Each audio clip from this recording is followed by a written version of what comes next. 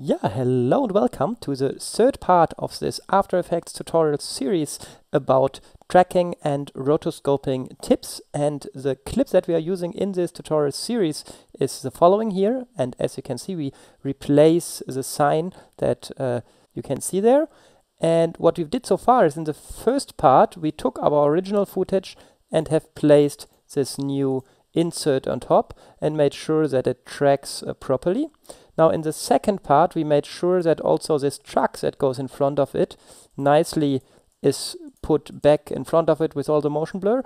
And now the only problems that are left for this third part is if you look closely at the hands of these boys and compare this with the original footage, you can see here they are obviously in front of the sign.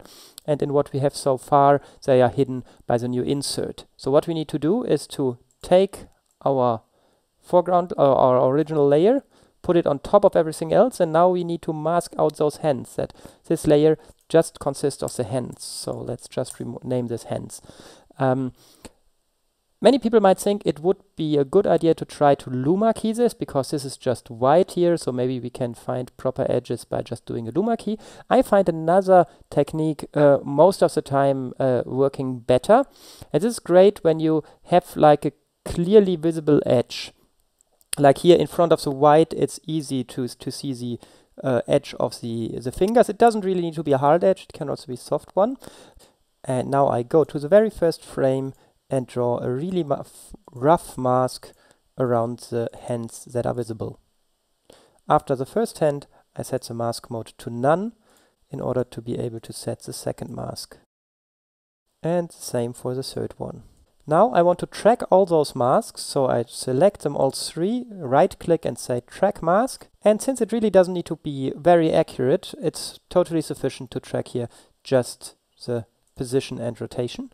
There's not much scale going on anyway. I set the third mask also to none such that we can better see what is going on and start our track again with all three masks selected.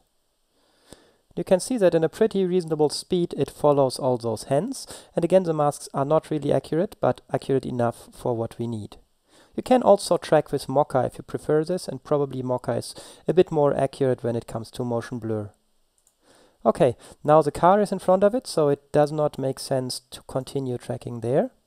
And we go to the frame, like to the first frame where all three hands are visible again, and make sure that all masks are where they should be. I first track a few frames backwards and now these two masks from the boy a few frames backwards until they disappear, which is here already here. And now I continue tracking all three masks to the right until the end of the composition.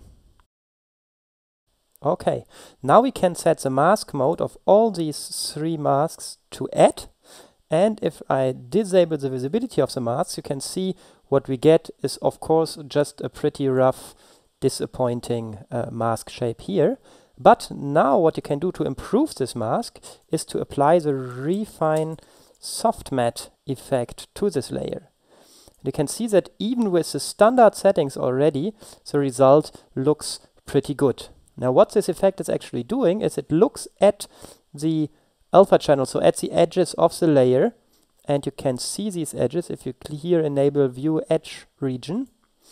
And in these regions, it looks for plausible edges that it thinks here the edge of my layer actually should be. And it's able to properly identify the hands here, the, like the edge between the hands and the layer. And so this means this turns really poor rotoscoping in a pretty much accurate one.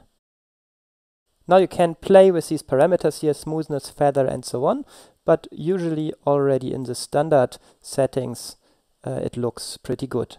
Now you can see the only subtle problem that we might have is here this region where it does not really find the corner and this is probably a previously edge region again because this part is not in the region that is considered yeah, so we can do this by adding an additional edge.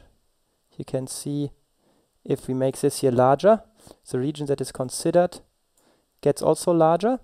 And now you can see that also here you've got a pretty accurate result. Other things that you sometimes need to do is if you see some flickering in the generated masks, then you might also need to turn on the chatter reduction, yeah, which you can often just set to smoother. And now let's take a look at our final result.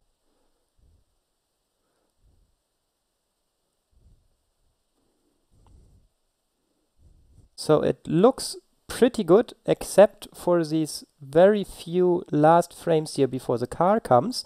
And this is because of this smoother setting, which says I try to make this hand here look the same or pretty similar to the next frame that is coming. You can see the next frame that is coming looks like this, or one of the next frames. So in order to smooth this, it tries to hide the hand here, here already. If you run into these kinds of issues, either you can turn off the smoothing.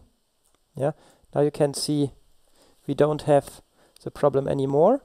If you still need the smoothing because this is too much flickering for you, then you can also keyframe this value. Yeah, let's say we keep it on until this point where it still looks okay, keyframe, and on the next frame where we have our problem, we just turn it off.